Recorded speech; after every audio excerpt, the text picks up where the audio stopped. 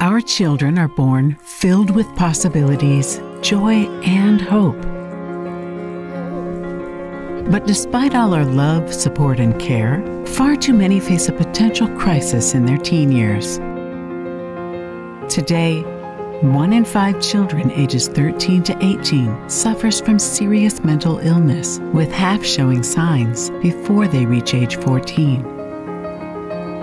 Unfortunately, only 20% of these children are ever diagnosed, which means up to 80%, or about 12 million young people, do not receive the care they so desperately need. Suicide is the third leading cause of death in people ages 10 to 24. And now, with the COVID 19 pandemic, young people with mental health disorders are facing serious new challenges, including isolation, school closures, and loss of social supports. Yet, there is hope.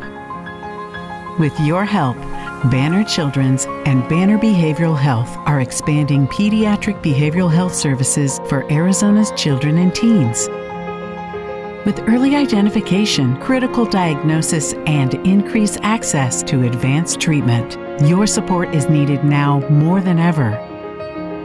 Your contribution means Arizona youth will get the mental health care and resources they need to thrive now and in the future.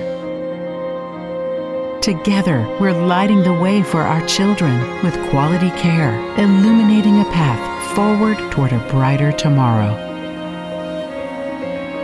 To donate, visit bannerhealthfoundation.org/ltw.